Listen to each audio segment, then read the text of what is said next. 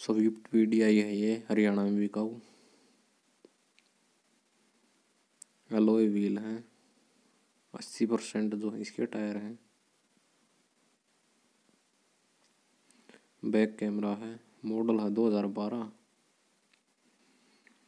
और स्क्रैचलेस गाड़ी है। प्राइस मांग रहा है किसकी तीन लाख पैंसठ हज़ार रुपये। और कोई चेंजेज नहीं होगा प्राइस में। फिक्स्ड प्राइज है। जिस भाई ने लेनी नीचे कमेंट बॉक्स में बता दियो।